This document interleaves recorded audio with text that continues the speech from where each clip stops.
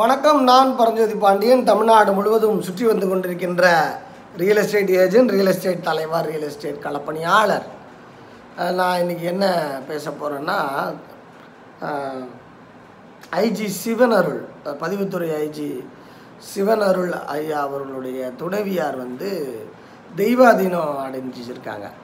தெய்வாதீனம் ஒரு இயற்கை மரணமோ அப்படிலாம் இல்லை. அது ஒரு ஒரு துன்பியல் நிகழ்ச்சி. அவர்கள் பிளேடால் தன்னைத்தானே தன்னை கழுத்து அறுத்து கொண்டிருக்கிறார்கள் அப்படின்றது போல செய்திகளில் வருகிறது. அது உள்ளே நாம் போக தேவையில்லை. அது அது உண்மை கொலையா தற்கொலையா என்று ஒரு காவல்துறை கா சம்பந்தப்பட்ட கோணங்களில் நாம் போக தேவையில்லை. ஆனால் அந்த செய்தி மிகவும் அதிர்ச்சிகரமாக இருக்கிறது. அதாவது அதில் அவர்கள் சொன்ன காரணம் சொத்து சிக்கல் அதனால் மன அழுத்தம். சொத்து சிக்கல் அதனால் மன அழுத்தம். அதனால் வந்து தன்னுடைய உயிரை அவர்கள் மாய்த்து கொண்டார்கள் அப்படின்னு சொல்கிறார் தன்னுடைய கணவன் பதிவுத்துறையில் மிகப்பெரிய தலைவர். ஒரு ஆழ்ந்த படிப்பாளி சிந்தனையாளர். எல்லா விஷயங்களும் தெரியும் அவருக்கு மகன் மகள் டாக்டர். பையன் ஒருத்தர் டாக்டர் படிக்கிறாங்க அவன் டாக்டர்ன்றாங்க ஆக எல்லாரும் மருத்துவத்துறை. வீட்டில் அந்த அம்மா தனியாக இருக்கிறாங்க. அப்புறம் அவங்களுக்கு சொத்து சிக்கல் மனசில் ஸ்ட்ரெஸ்ஸு எப்படி இது நடக்கும். சொத்து சிக்கலால் எப்படி ஸ்ட்ரெஸ் வரும்? சொத்து சிக்கலால் நிறைய மன அழுத்தங்களை அடித்தட்டு நடுத்தர மக்களிடம் நான் நிறைய நேரடியாக கண்டிருக்கிறேன். அப்போது அதை நான் ஒரு மார்க் மைண்ட் செட்டோடு அதை அணுகுவேன். அடா விடுப்பா அப்படின்ட்டு. அதெல்லாம் ஒன்றும் பெருசாக கிடையாது அப்படின்ட்டு. நிச்சயமாக சொத்து சிக்கலில் இருப்பவர்கள் எக்காரணம் கொண்டு தற்கொலை பண்ணிக்கணும்னு நினைக்கவே நினைக்காதீங்க. எவ்வளோ பெரிய பிரச்சனையாக இருந்தாலும் சரிதான். வாழ்க்கையே உடஞ்சிடுச்சு. வாழ்க்கையே போயிடுச்சு அப்படின்ற மனநிலைக்கு நீங்கள் வந்துட்டாலும் நீங்கள் நினச்சா ரீபில்டு பண்ணிக்கலாம். ரைட்டுங்களா? உங்களுக்கு அதுக்கு அசிஸ்ட் பண்ணோம் அதுக்கு வரணுன்னா நேராக நம்மளை பார்க்க வந்துருங்க. அதை பார்த்துக்கலாம். எவ்வளோ பெரிய விஷயமா இருந்தாலும் சொத்து சிக்கலால் என் மனது உடைந்து விட்டது. அது என்னால் முடியல அப்படின்னு சொல்லுவேன் நான் ஏற்கனவே பல வீடியோக்கள் போட்டிருக்கேன். மனச்சமநிலை எமோஷனல் இன்டெலிஜென்ஸ் வேண்டும் அப்படின்ட்டு.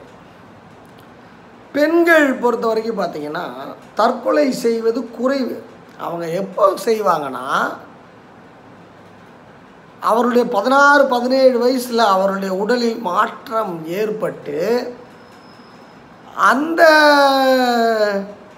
பெண் வளர்ச்சியாகும் பொழுது அந்த காலகட்டத்தில் ஒரு அதற்கப்புறம் யாரிடமும் தன்னுடைய மனபாரங்களை சொல்ல முடியாமல் ரகசியமாக மாஸ்க் போட்டு வெளி மாஸ்கெல்லாம் போட்டு வெளியே பேசி குழப்பி ஒரு முப்பது வயதிற்குள்ள அவர்கள் அனைவருமே வந்து நிறைய பேர் தற்கொலை பண்ணலாம். ஆண்கள் தான் வந்து ஐம்பது வயதுக்கு மேலே தற்கொலை பண்ணுவாங்க.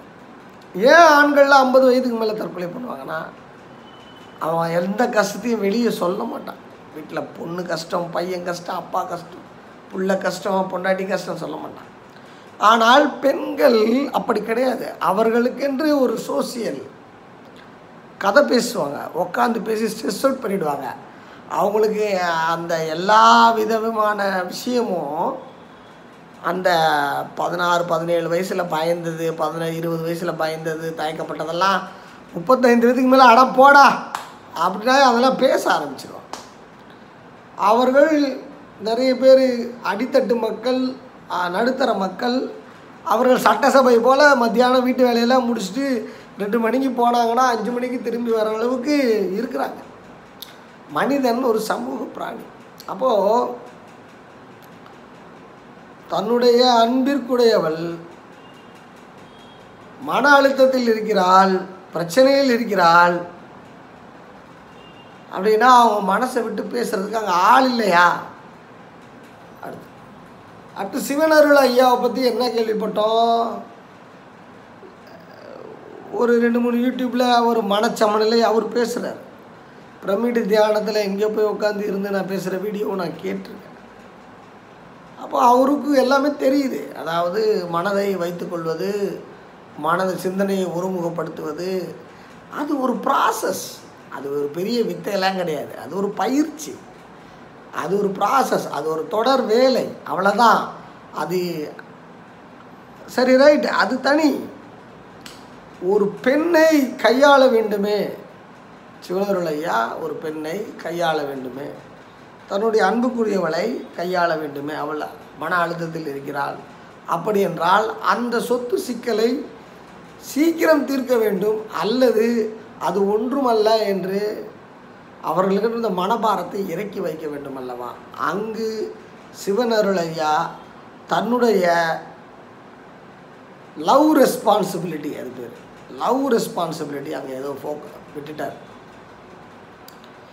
அவர் சுதாரித்து கொள்வார் இனி அப்படின்னு நாம் நம்புகிறோம் அவர் அவர் வந்து தான் பதிவுத்துறையில் நிறைய விஷயங்கள் நாம் ஏற்கனவே நிறைய பேசிகிட்டு இருக்கோம் நம்ம குழுவில் சமூக ஊடகங்களில். அது எல்லாம் வந்து அவர் அமல்படுத்த ஆரம்பிக்கிறார். அவருக்கு இப்படி ஒரு துன்பியல் நிகழ்வு என்பது வருத்தம். ஆனால் இதில் சொல்கிற செய்தி ரெண்டு செய்தி தான். சொத்து சொத்துக்களால் தற்கொலை அப்படின்றது அப்படி அப்படி செய்ய வேண்டிய அவசியம் அல்ல. நிறைய பேர் ஹெச்ஆர்என்சியில் அந்த இடம் இல்லைன்னு வீட்டில் நோட்டீஸ் வந்தோன்னா ஹார்ட் அட்டாக் வந்துடுச்சு தலைவரே. அப்படியே முடியல தலைவரே அப்படின்றாங்க. அப்படிலாம் ஒன்றும் கிடையாதுங்க. நீங்கள் நினைத்தால் எல்லா செல்வத்தையுமே வந்து வாங்க முடியும். முடியாது அப்படின்னு நீங்கள் நினச்சிங்கன்னா கஷ்டம்தான் அது. சார் அதனால் வந்து மனச்சமநிலை ரொம்ப முக்கியம். சொத்து சிக்கலில் உங்களுக்கு மன அழுத்தம் மன ப்ரெஷரு அப்படின்னா சொத்து சிக்கலை அப்புறம் பார்த்துக்குவோம். நீங்கள் மன அழுத்தம் மன ப்ரெஷர்லேருந்து வெளியே வருவதற்கான வேலையை பார்க்கணும். அதனால் நிச்சயமாக வந்து பார்த்திங்கன்னா அது மனச்சமநிலைக்கு எந்த சாமியார் கையிலையும் போயிடாதீங்க. எந்த கோயில் பிரமிடு கட்டுறேன் அதை கட்டுறேன் இதை கட்டுறேன் அதுக்கு போகிறெல்லாம் போகாதீங்க. உள்ளம்தான் பெருங்கோவில் உன்னுடம்பு தான் ஆலயம். அதனால் வந்து உங்கள் உடம்பு தான் கோயில். நீங்கள் போய் அது மாதிரிலாம் குழப்பிக்காதீங்க. உங்களை உள்ளே பாருங்கள் உள்ளே உள்ளே பாருங்கள் பிரச்சனையை தீர்க்கலாம். அப்புறம் ரொம்ப பிரச்சனை. என்னாலலாம் வந்து தன்னைத்தானே தீர்த்துக்க முடியாது. அப்படின்னா நேரடியாக பரஞ்சோதி பாண்டியன் கிட்ட நேராக வாங்க. வந்து ஒரு நான் நேரம் ஒதுக்குறேன். ஒதுக்கி இல்லால் நான் வரேன். மனபாரத்தை முதல்ல இறக்கிக்கிறேன். சாவுற அளவுக்கு போகாதீங்கப்பா. அவ்வளோதான் நான் சொல்லுவேன் சாவுற அளவுக்கு சொத்துல ஒன்றும் கிடையாது. எவ்வளோ கோடி போனாலும் சரிதான். ரைட்டுங்களா தற்கொலை செஞ்சுக்காதீங்க. கொலை கூட ஏதாவது பண்ணிடுறாங்க ரைட்டு அது ஏதோ அப்படின்னு. ஆனால் நீங்கள் ஒன்று புரிந்து கொள்ள வேண்டும்.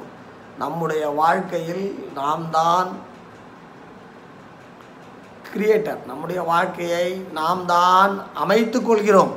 நம்முடைய வாழ்க்கையை நாம் தான் கோ கிரியேட் செய்கிறோம். அதனால் நீங்கள் வந்து கவனமாக சொத்து சிக்கல் என்று வந்திருக்கும் பொழுது அதை பற்றி யோசிச்சுட்டு இருக்காதிங்க. அதே போல் இப்போ ஒரு வீட்டில் ஆண்கள் சொத்து சிக்கலில் இருப்பாங்க. அப்போ வீட்டில் இருக்கிற அந்த வீட்டம்மா ரொம்ப அதிகமாக போட்டு குழப்பிக்கிட்டு இருப்பாங்க. அப்படின்னா அவர்களுக்கு நேரம் கொடுத்து ஏன்னா பெண்களுக்கு பெண்களுக்கு நர்ச்சரிங் அடிக்கடி பேசணும் நர்ச்சர். பேசி மண்டையில் இருக்கிற பாரத்தை இறக்கி விட்டுட்டு வெளியே வாங்க. நீங்கள் பாட்டு வெளியில் வந்துட்டீங்கன்னா அப்புறம் கஷ்டம். அதனால் வந்து இது போன்ற துன்பியல் நிகழ்ச்சிகளுக்கு காரணம் அவர்கள் ஆல்ரெடி ஸ்பிரிச்சுவலாக டெத் ஆகிட்டாங்க ஆன்ம ரீதியாக அவர்கள் டெத் ஆகிட்டாங்க அவர்கள் பயம் குழப்பம் மனசில் இருக்கிறதுல வந்து ஸ்பிரிச்சுவலாக அவங்க டெத் ஆகிட்டாங்க ஏன்னா அப்படி பயம் குழப்பம் அதெல்லாம் இருக்கும்போது அவர்களை செக்யூராக பார்க்குறதுக்கு இன்னொரு லவ் வேணும். அப்படி அந்த அம்மாவுக்கு எந்த அளவுக்கு கிடைத்தது அப்படின்னு நமக்கு தெரியல.